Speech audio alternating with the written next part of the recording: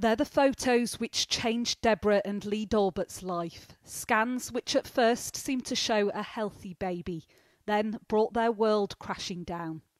Their story and that of baby Milo crystallises just how unflinching America's new abortion laws can be. And then this one is exactly at week 23. And this is when they discovered there was no kidneys. When Deborah was 23 weeks pregnant, a doctor diagnosed their unborn child with Potter syndrome, a rare and lethal condition. He told us either the baby will be stillborn or when it's born, um, it'll only live for a few minutes to a few hours. In Florida, where they live, abortion is banned after 15 weeks. There are exceptions for fatal fetal abnormalities, but Deborah's doctors wouldn't honour the couple's wishes to end the pregnancy. How were those months, Deborah, when you had to carry a baby to term that you knew wasn't going to survive? It was like a roller coaster. And when I felt, you know, um, baby M kicking me, it's like I wanted to feel joy, but at the same time, it was just like I fought back because I knew what was about to happen, that I was going to lose him. For more than three months, Deborah carried a baby she knew wouldn't survive, trying to hide her tears from four year old son Caden. After a 12 hour labour, baby Milo was eventually born. He lived just 93 minutes. Babies usually immediately start crying, and it was just silence. But he's just opening his mouth periodically, and it's he's just trying to, you know, just trying to breathe. Is there a sense of disbelief that these laws exist at the moment? Yeah, there is. I've I've never never thought in a million years I would be the one in this position. I feel like we've gone back backwards 50 years.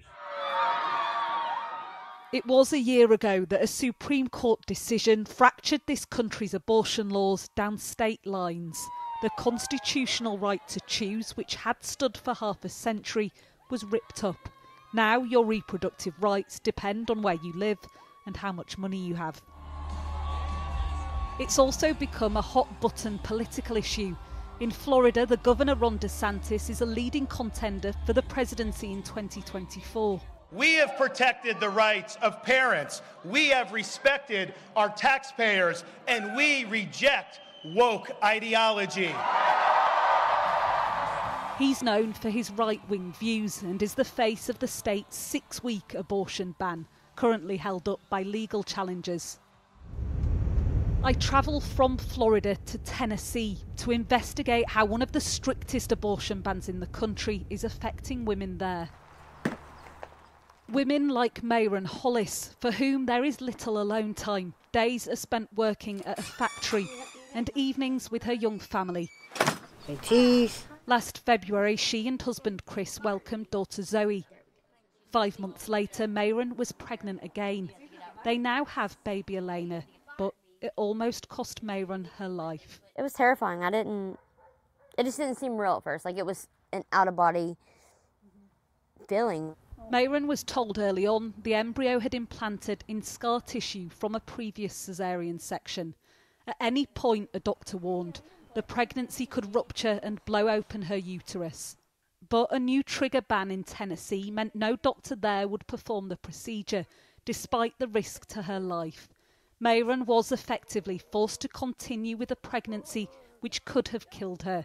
And just over six months later, it nearly did. Bathroom, So I stood up to go to the bathroom, and was, I was just gushing blood at this time. Like it was horrible. Like I had a white rug in front of my door, just blood everywhere. There was nothing they were going to do for me unless I was on the verge of dying.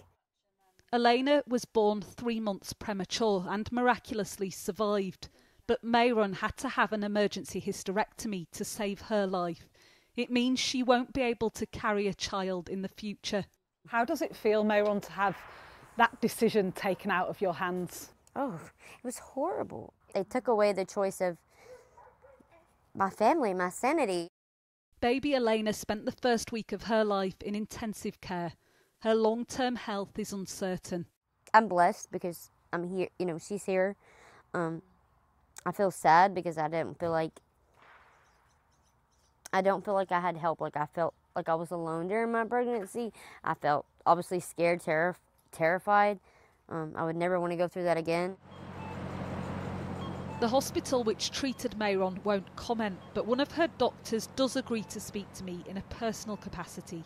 We have a law in Tennessee that has really made it impossible for me to fully to fulfill my duties as a physician um, and to honor pa- patients' choices when they're faced with incredibly difficult decisions. Anti abortion campaigners would point to Mayron's case and say it's a victory. She survived, her baby survived. Do you see it as a victory? We are so happy that she has a live baby, but that could have gone wrong in so many ways. And even now, like her, you know, her baby is not out of the woods for a long time. So, you know, I it, it's a a small victory in that she didn't die, but I think that's a very low bar to set. When Roe versus Wade was overturned a year ago, many so called trigger bans came into force banning abortion outright. In Tennessee, Senator Richard Briggs co sponsored their trigger ban, but now admits he never thought it would actually come into effect. Do you regret signing the Right to Life bill? You know, I really don't regret signing it because uh, we we don't need to be terminating pregnancies on normal children, and I know there's unusual circumstances, uh, and I don't regret I don't regret signing it. Uh, maybe we should have had more discussion. Senator, I've spoken to a woman who nearly bled to death twice. If the if the woman had a condition where her life or health was in jeopardy, she, she should have been able to be treated. but she wasn't. She wasn't But because was doctors because doctors in this state Uh, were too scared to give her abortion health care, so she nearly bled to death twice because of the law Yeah. that you co-sponsored. That, that, do you, well, do you that- apologise to her? That was a bad aspect of the law. Were you playing chicken with the lives of women in Tennessee? Uh, well, I, I don't think so. That's I think that's a very legitimate question, uh, by the way. And you'll hear a lot of people say we didn't think that Roe versus Wade would be ever overturned. And then the second part of that is it's like a lot of bills. We come back and revise the bill, and that's exactly what we did in this case. Tennessee's abortion law does now allow doctors to perform an abortion if the life of the mother is at risk, but it remains one of the most severe in the country. It's a postcode lottery for care here, and the restrictions hit the poorest hardest. While politicians across America discuss and debate reproductive rights, the women who are stripped of their right to choose reckon with a new reality. Martha Kelner, Sky News, Tennessee.